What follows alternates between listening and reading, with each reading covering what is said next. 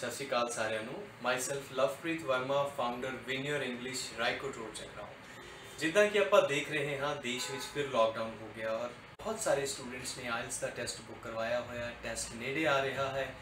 Centres ਬੰਦ ਹੋ ਚੁੱਕੇ ਹਨ। ਤਿਆਰੀ ਕਿੱਥੇ ਕਰੀਏ? ਅਸੀਂ ਤੁਹਾਡੀ ਹੈਲਪ ਕਰਾਂਗੇ ਟੂ ਗੈਟ ਹਾਇਰ ਬੈਂਡਸ ਅਸੀਂ ਤੁਹਾਨੂੰ ਫ੍ਰੀ ਆਇਲਸ ਕਲਾਸਿਸ ਪ੍ਰੋਵਾਈਡ ਕਰਾਂਗੇ ਟਿਲ 30th ਆਫ April, ਜਿੰਨੀ ਦੇਰੇ ਲਾਕਡਾਊਨ ਲੱਗਿਆ ਹੋਇਆ ਹੈ।